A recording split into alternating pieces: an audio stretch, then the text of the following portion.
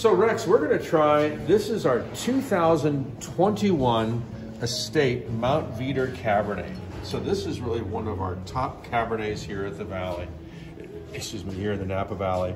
And um, so this is a wine that the grapes were crushed in October of, of 2021.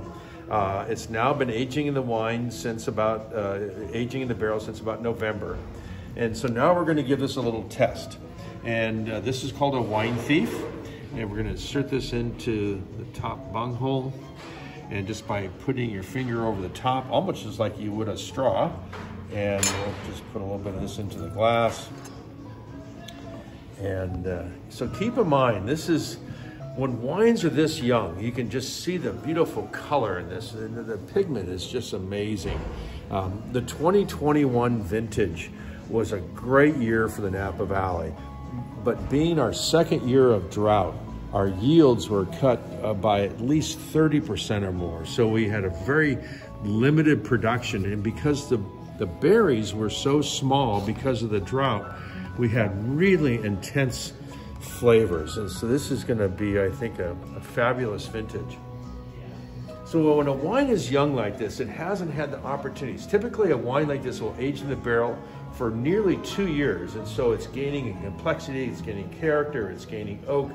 So being the fact that this has only been in the barrel now for just a few months, you get a lot more of the aromatics of the grape itself, where as it ages, it gets, you know, more of that oakiness, savoriness.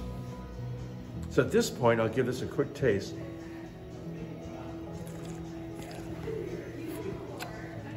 what, what hits you right away is just the intense dark fruit flavors.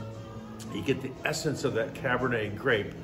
Um, it's still a little bit, little bit young, a little bit unruly, and because it has such great color, you know, this is the kind of wine, you know, that'll make your lips red, it'll make your teeth red, because it's so full of pigment. But, uh, and it's, you know, it's, not really that smooth yet. It still needs to mellow and age in the barrel, but I think it has great, great promise and and and even for a wine that's just really just months old, it's uh, it's amazing how uh, tasty it is already.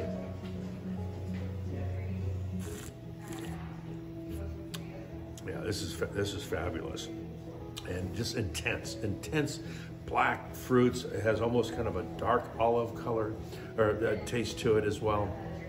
Um, so anyway, it's fun. I know our, our fans love tasting these wines and and they change so quickly. You would think, okay, this is how it tastes today.